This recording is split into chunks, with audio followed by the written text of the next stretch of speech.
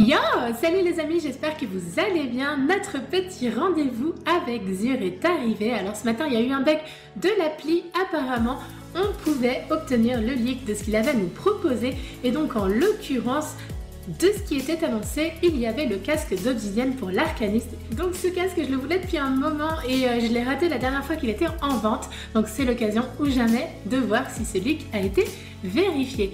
Donc en l'occurrence, il est vrai et c'est génial et je vais m'empresser d'acheter cette âme d'obsidienne pour mon personnage. Et en attendant, on va faire le tour de ce qu'il y a d'autre à vendre pour cette semaine. Donc les ailes de la perdition pour le titan, le casque Arachnid ATS 8 pour le chasseur, un casque relativement intéressant même s'il y en a des beaucoup mieux.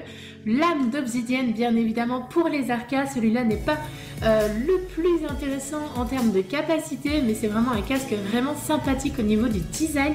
C'est pour ça que je le voulais, il est assez particulier donc c'était vraiment pour la collection.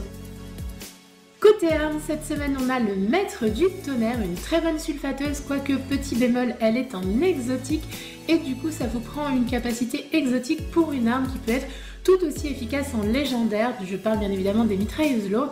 Donc c'est intéressant de l'avoir quand même ceci dit parce qu'elle est en dégâts cryo, mais autrement voilà c'est pas une priorité.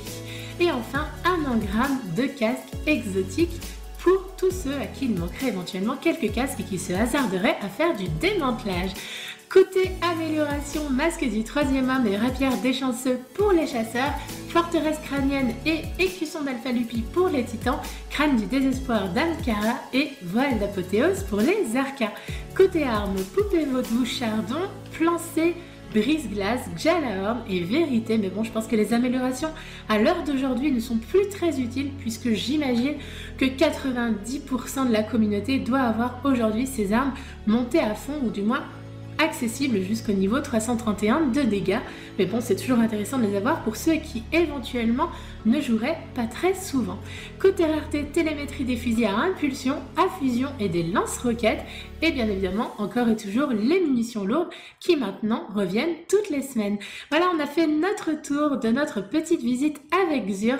Bonjour à tous ceux qui seront sur cette vidéo, qui la regarderont et qui se reconnaîtront.